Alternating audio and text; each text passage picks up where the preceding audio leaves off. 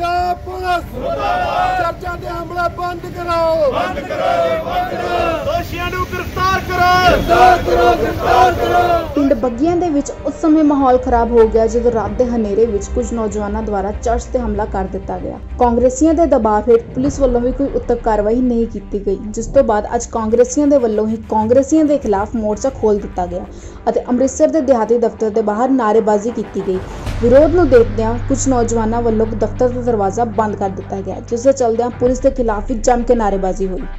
ਹਾਂਜੀ ਕੀ ਹੋਇਆ ਜੀ ਤੁਹਾਡੀ ਚਰਚ ਦੇ ਵਿੱਚ? ਤੇ ਕਿੱਥੇ ਹੈ ਤੁਹਾਡੀ ਚਰਚ? ਚਰਚ ਪਿੰਡ ਬੱਗਿਆਂ ਵਿੱਚ ਆ ਰੋਡ ਦੇ ਉੱਤੇ ਆ।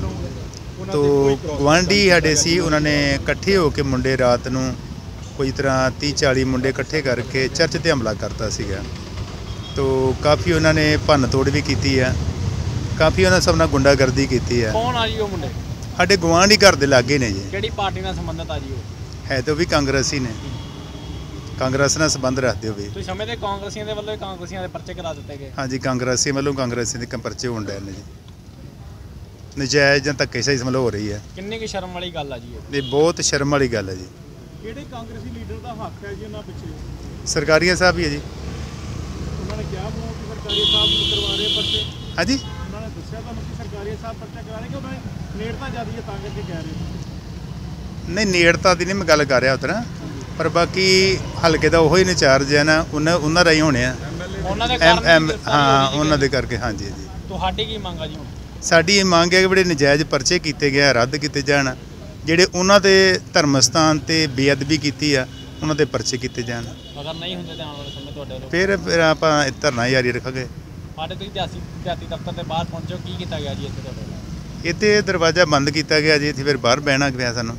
ਕਾਰਨ ਕੀ ਆ ਜੀ? ਕਿਉਂ ਬੰਦ ਕੀਤਾ ਗਿਆ ਕਾਂਗਰਸੀਆਂ ਪਤਾ ਨਹੀਂ ਜੀ ਹੁਣ ਕਾਂਗਰਸ ਨੂੰ ਇਹ ਗੱਲ ਦਾ ਪਤਾ ਹੋਵੇ ਵੀ ਕਿਉਂ ਕਰ ਰਹੀ ਕਾਂਗਰਸੀਆਂ ਬੰਦਿਆਂ ਨੇ ਕਾਂਗਰਸ ਦਾ ਕਰਤਾ ਕਿ ਪਾਰਟੀ ਨੂੰ ਬਿਲੋਂਗ ਕਰਦੇ? ਕਾਂਗਰਸ ਨਹੀਂ ਕਰ ਰਹੇ ਜੀ।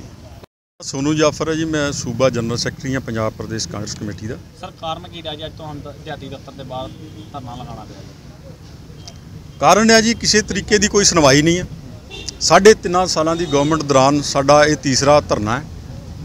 ਦੋ ਧਰਨੇ ਅਸੀਂ ਪਹਿਲੇ ਦਿੱਤੇ ਇੱਕ ਜਨਾਲਾ ਹਲਕੇ ਦੇ ਵਿੱਚ ਅਸੀਂ ਧਰਨਾ ਦਿੱਤਾ ਸੀ। ਉੱਥੇ ਵੀ ਸਾਡੀ ਬਿਲਕੁਲ ਸੁਣਵਾਈ ਨਹੀਂ ਸੀ। ਸਾਨੂੰ ਧਰਨਾ ਦੇ ਕੇ ਪਰਚੇ ਦਰਜ ਕਰਾਉਣੇ ਪਏ। ਔਰ ਕੱਲ ਅਸੀਂ ਹਜ਼ਾਰ ਬੰਦਾ ਲੈ ਕੇ ਅ, ਕੁੱਕੜਾਂ ਵਾਲਾ ਰਾਜਾ ਸਾਂਸੀ ਪੁਲਿਸ ਸਟੇਸ਼ਨ ਦੀ ਕੁੱਕੜਾਂ ਵਾਲੀ ਚੌਂਕੀ ਹੈ। ਅਸੀਂ ਉੱਥੇ ਹਜ਼ਾਰ ਬੰਦਾ ਲੈ ਕੇ 5.5 ਘੰਟੇ ਬੈਠੇ ਰਹੇ। ਸਾਨੂੰ ਕੋਈ ਪੁਲਿਸ ਦਾ ਅਧਿਕਾਰੀ ਸਾਨੂੰ ਪੁੱਛਣ ਨਹੀਂ ਆਇਆ। ਕੋਈ ਸ਼ਾਸਨ ਦਾ ਅਧਿਕਾਰ ਬੰਦਾ ਸਾਡੇ ਕੋਲ ਨਹੀਂ ਆਇਆ ਕਿ ਇੱਕ ਸੂਬਾ ਜਨਰਲ ਸੈਕਟਰੀ ਤੇ ਇੱਕ ਸਟੇਟ ਦਾ ਸੈਕਟਰੀ ਦੋ ਬੰਦੇ ਧਰਨੇ ਤੇ ਬੈਠੇ ਨੇ। ਇਹਨਾਂ ਨੂੰ ਪੁੱਛਿਆ ਜਾਏ ਕਿ ਇਹਨਾਂ ਨੂੰ ਕੀ ਦੁੱਖ ਤਕਲੀਫ ਹੈ। ਔਰ ਅਸੀਂ 5.5 ਘੰਟੇ ਉੱਥੇ ਡਟੇ ਰਹੇ ਮੈਦਾਨ ਦੇ ਵਿੱਚ ਔਰ ਅੱਜ ਝੋਨੇ ਦਾ ਸੀਜ਼ਨ ਚੱਲ ਰਿਹਾ। ਬਹੁਤ ਜ਼ਿਆਦੀ ਟਰੱਕਾਂ ਦੀ ਜਿਹੜੀ ਲੋਡਿੰਗ ਹੋਈ ਸੀ, ਆਵਾਜਾਈ ਸੀ, ਉਹ ਜਾਮ ਸੀ ਔਰ ਬੱਸਾਂ ਬ- ਰੁਕੀਆਂ ਸੀ, ਗੱਡੀਆਂ ਰੁਕੀਆਂ ਸੀ। ਇਹਨਾਂ ਨੇ ਇਹ ਮਨਾਸਬ ਨਹੀਂ ਸਮਝਿਆ ਕਿ ਲੋਕ ਪਰੇਸ਼ਾਨ ਹੋ ਰਹੇ ਨੇ। ਅਸੀਂ ਤਾਂ ਆਪਣਾ ਦੁੱਖ ਲੈ ਕੇ ਉੱਥੇ ਬੈਠੇ ਸੀ ਕਿ ਸਾਨੂੰ ਕੋਈ ਸੁਣਨ ਵਾਸਤੇ ਆਵੇ, ਸਾਨੂੰ ਕੋਈ ਪੁੱਛਣ ਵਾਸਤੇ ਆਵੇ।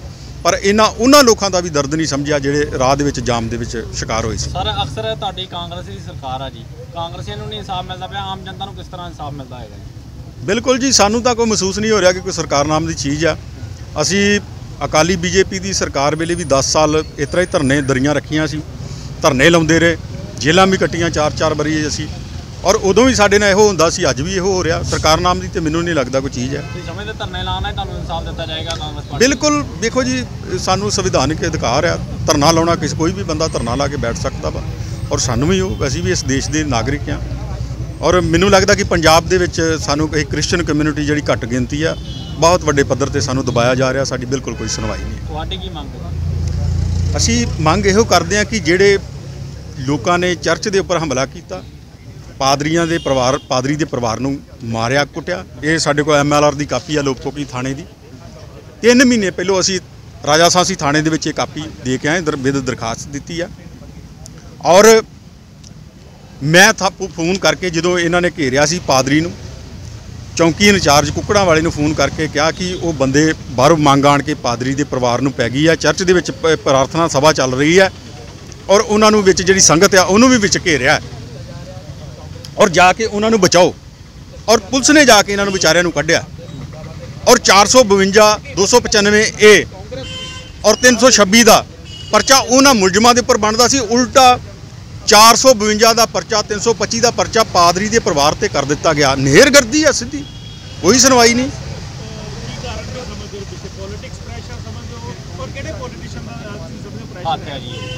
ਦੇਖੋ ਜੀ, ਮੈਂ ਇਹ ਸਮਝਦਾ ਕਿ ਪੰਜਾਬ ਦਾ ਮਾਹੌਲ ਖਰਾਬ ਕਰਨ ਵਾਸਤੇ ਕੋਈ ਤਾਕਤ ਕੰਮ ਕਰ ਰਹੀ ਆ ਪਿੱਛੇ। ਔਰ ਉਹ ਕੌਣ ਲੋਕ ਨੇ? ਅਸੀਂ ਮਿਨਿਸਟਰ ਸਾਹਿਬ ਨਾਲ ਵੀ ਬਹੁਤ ਵਾਰੀ ਰਾਫਤਾ ਕਰਨ ਦੀ ਕੋਸ਼ਿਸ਼ ਕੀਤੀ, ਪਰ ਉਹਨਾਂ ਮناسب ਨਹੀਂ ਸਮਝਿਆ ਕਿ ਸਾਡੇ ਨਾਲ ਉਹ ਰਾਫਤਾ ਕਰਨ।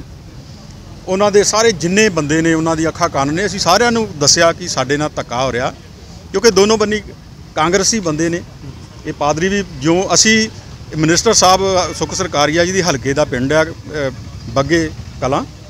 ਔਰ ਉਸੇ ਚਰਚ ਦੇ ਵਿੱਚ ਅਸੀਂ ਇਹਨਾਂ ਦੇ ਸਮਰਥਨ ਦੇ ਵਿੱਚ ਮੀਟਿੰਗਾਂ ਕਰਦੇ ਰਹੇ ਹਾਂ। ਚਾਹੇ ਉਹ ਐਮਐਲਏ ਦੀ ਇਲੈਕਸ਼ਨ ਸੀ ਚਾਹੇ ਉਹ ਪਾਰਲੀਮੈਂਟ ਦੀ ਇਲੈਕਸ਼ਨ ਕਾਰਨ ਕੀ ਹੈ ਜੀ? ਕਿਉਂ ਭੁੱਲ ਚੁੱਕੇ ਨੇ ਉਹ ਮੀਟਿੰਗ ਦੇਖੋ ਜੀ ਸੱਤਾ ਦੀ ਤਾਕਤ ਜਿਹੜੀ ਆ ਬੰਦੇ ਨੂੰ ਬਹੁਤ ਕੁਝ ਭੁਲਾ ਦਿੰਦੀ ਆ।